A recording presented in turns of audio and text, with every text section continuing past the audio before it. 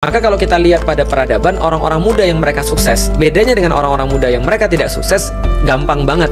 Orang-orang muda yang sukses tahu apa yang mau mereka ambil, apa yang mau mereka raih, itu tahu jelas. Muhammad Al-Fatih dari umur 8 tahun sudah tahu persis bahwa dia pengen membebaskan kota Konstantinopel.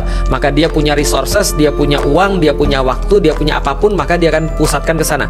Dia bisa aja dia main game, dia bisa aja untuk santai-santai, tapi dia tahu kalau dia santai tidak ada hubungannya dengan pembebasan kota Konstantinopel. Maka dia coba cari aktivitas-aktivitas yang bisa mendekatkan dia pada pembebasan kota Konstantinopel.